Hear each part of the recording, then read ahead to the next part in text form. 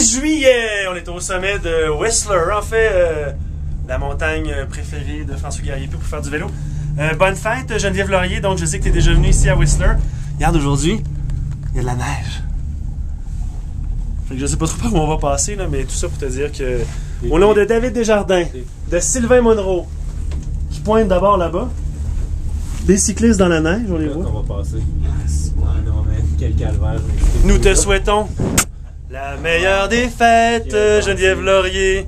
Gros bisous, bébé. J'ai hâte qu'on couche ensemble. Ouais. On va lui demander.